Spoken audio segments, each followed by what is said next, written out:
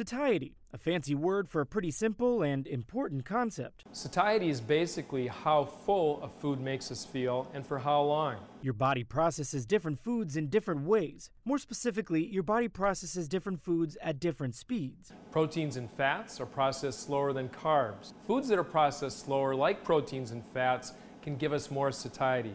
Dr. Donald Hensrud, who heads up the Mayo Clinic Healthy Living program, says when you fill up on foods that provide greater satiety, you're less likely to overindulge on less healthy foods that may cause you to gain weight or provide less nutrition. That's why when we're hungry, a little bit of nuts with protein and fat can go a long way. Other high protein and high fat foods that provide satiety include lean meats like chicken, fatty fish, eggs, yogurt, broccoli, olive oil, avocados, and dark chocolate if you need something sweet. So when you're planning for snacks and meals, think about satiety. For the Mayo Clinic News Network, I'm Ian Roth.